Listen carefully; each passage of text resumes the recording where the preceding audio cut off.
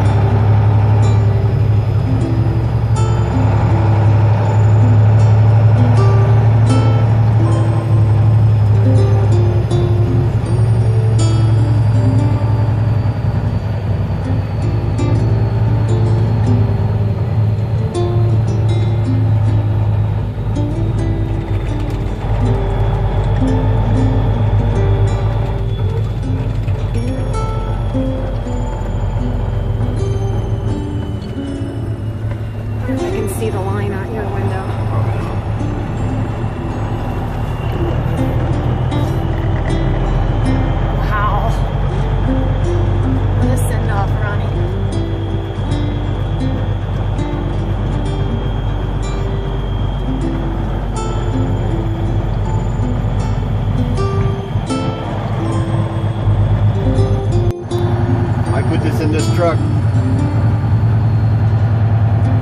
But Kevin died. I left Richmond, Indiana in this truck on my way to Kevin's house before he passed away. And now I belong to Ronnie. And I'm honored to be sitting in this seat.